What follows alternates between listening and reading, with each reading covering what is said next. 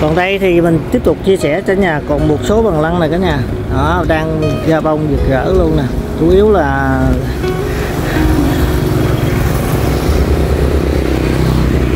bông ở trên đọt nha. Cái này thì à, mình để thước sẵn nè. À, chiều cao của nó là một m hai đấy đó nè một m mười hai thôi. Tổng chiều cao của nó là khoảng một m hai một gần một m ba. Chiều cao của nó còn à, cốt của nó thì nhỏ thôi nha. Bằng ngón tay thôi. Có cây thì lớn hơn, có cây thì nhỏ hơn nha. Nó như cây bên đó, lớn hơn, ở công bên đây nó ngay mà nó nhỏ hơn nè. Cốt nó gì nè cái này? Cốt nhỏ nhỏ thôi. Này bằng ngón tay. Ngón tay á, cái cây này thì nó bự.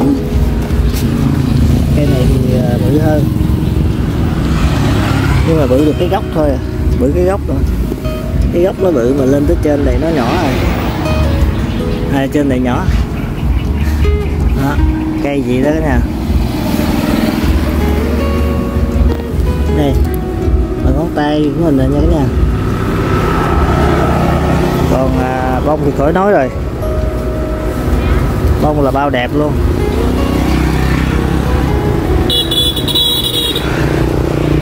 Đây thì có hai màu mẫu nè màu hồng và màu uh, tím nha. Đây là màu tím.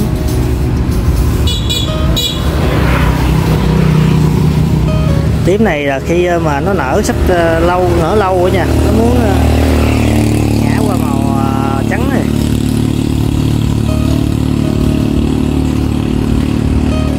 Còn là đây là màu hà màu tím luôn. Cái nhà thấy nè. Nhỏ mà có vỏ nha.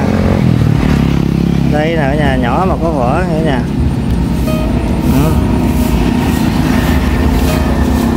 cây uh, chiều cao của nó là tính bông luôn đó nha. Thì uh,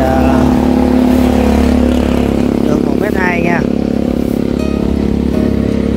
Ờ, à, tính hết chắc được mét ba cái nha. Như cây này như cây này là được mét tư rồi nè. Bông này là mét tư mét rưỡi rồi này đứng muốn ngang đầu mình luôn đó nha. Này nó chửi rồi cây này là nó chửi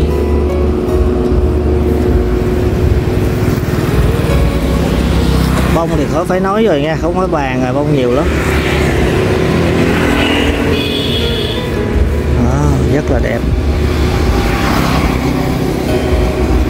Độc lọt mà nở hết thì à, không không còn cái bàn cãi nha không gì phải nói nữa.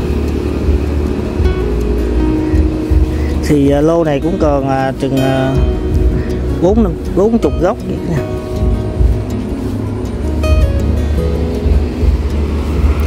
Rồi cả nhà có nhu cầu thì xin vui lòng liên hệ qua số điện thoại trên màn hình ha. Xin chào và hẹn gặp lại cả nhà ở clip tiếp theo ạ. à.